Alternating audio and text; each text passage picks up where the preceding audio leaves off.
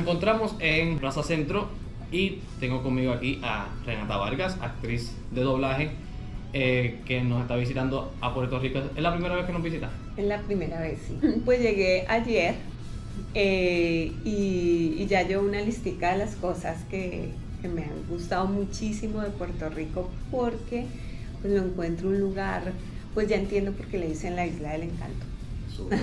Y la, la comida es importante también aquí, aquí la Sí. comida es otra cosa. Pues sí, pero imagínate que, que yo soy vegana, entonces tengo que estar buscando eh, opciones que se adapten, pero he encontrado, es lo, lo, lo bueno, o sea que no es como que, ay no, pues eh, no va con la comida, sí, es más difícil, pero, pero sí, sí se puede encontrar y he estado muy bien. Le puedo decir después dos o tres lugares. A mí yo pruebo también todo tipo de comida Ok. y le puedo decir, en particular hay uno que es de brunch, desayuno, que le puedo decir para que dé la vuelta. ok, muy bien, muy bien, les voy a anotar. ¿Desde cuándo lleva trabajando en el doblaje? Desde el año 2001, es decir, que este año cumplí 22 años. ¿Qué tiempo? Y además de series animadas y anime. ¿verdad? Que vi el, eh, el cartel mayormente, ¿verdad? Por el personaje de anime de Yu-Gi-Oh! Sí. Eh, ¿qué- ¿En qué otras ah, áreas ha tenido oportunidad de trabajar?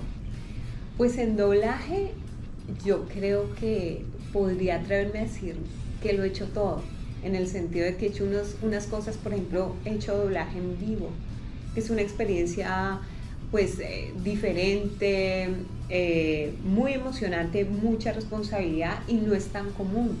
¿no? Eh, doblar tú con un traductor en, uno- en unos audífonos por un lado, eh, con la referencia original en vivo. Eso lo, lo hicimos en un proyecto para The Oprah Winfrey Show en las últimas temporadas. Entonces, por ejemplo, trabajos así. Ahorita, por ejemplo, estoy trabajando con Amazon Games. Estoy haciendo voces de lanzamiento para eh, unos videojuegos de ellos muy importantes. Entonces, Súper, súper. También eh, vi que había hecho documentales, sí, documentales y eh, realities. exacto. En realities, ¿en qué área ah, se ha movido?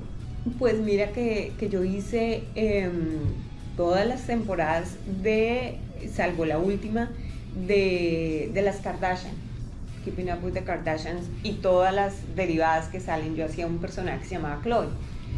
Ya el último, bueno, por, por motivos ajenos a mi voluntad no lo pude hacer la última temporada, pero también he hecho también eh, eh, realities casi que en tiempo real, porque como son tantos textos, a veces uno ya tiene que conocer el personaje y, y lanzarse a, a doblarlo muchas veces sin ver todo el material.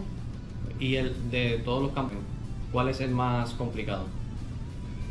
De todo, de todo. Pues yo creo que las películas, las buenas películas son muy complicadas porque son unas obras realmente en, en ocasiones de arte que uno está alterando. Entonces uno tiene que ser profundamente respetuoso con ese trabajo. Además porque cuando un actor crea, parte de su creación es la voz y uno está corriendo esa creación y está poniéndola de uno. Entonces creo que las películas sobre todo es lo más más complicado, una buena película.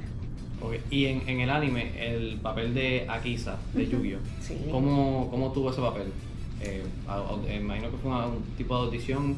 No, imagínate que yo estuve como, porque fue hace bastantes años, yo estuve como recordando cómo fue ese proceso y esto fue en una empresa colombiana que se llama Provideo, donde realmente no hacen mucho casting, ellos sencillamente iban a, eh, adjudicando, digamos, según su criterio el personaje y, un día me llamaron, arrancamos la serie y ya pues después vi como la importancia del personaje y de la serie, pero fue sobre la marcha, digamos que yo empecé hacia otras, y en Jump, otras, y bueno, de momento esa... esa Sí, que fue algo orgánico que de repente. Exacto, un día, ay, ay, ahora, y me di cuenta como de la importancia después.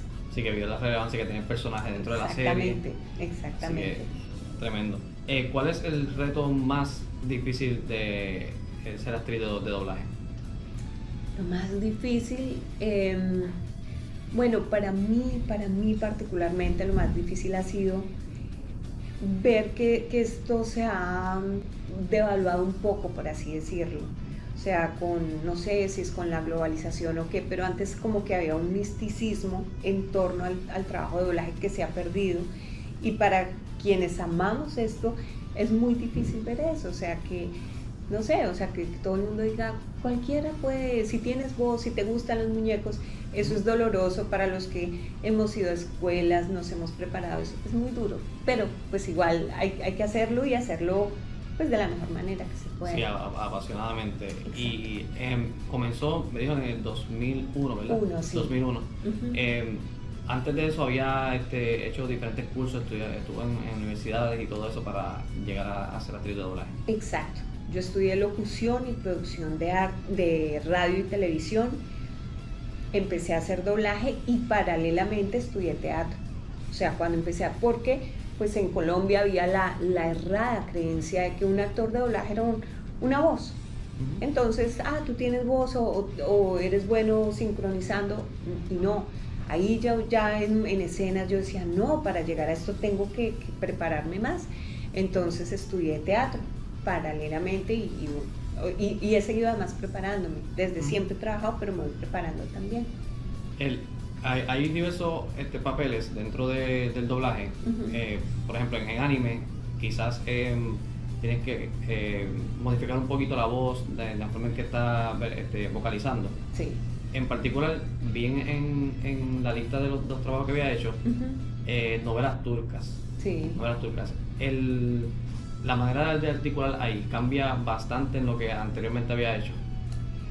Pues yo creo que igual en cualquier caso siempre se debe apuntar como a la naturalidad.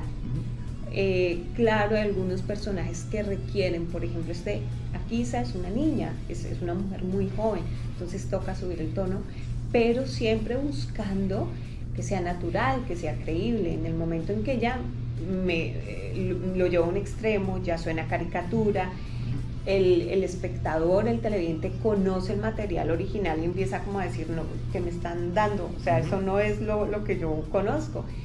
Entonces yo siento que independientemente de si son novelas, de si son documentales, realities, siempre hay que apuntarle a la naturalidad, porque es un poco una agresión para el televidente darle algo falso. Uh -huh. Perfecto, nada, ¿verdad? Muchas gracias.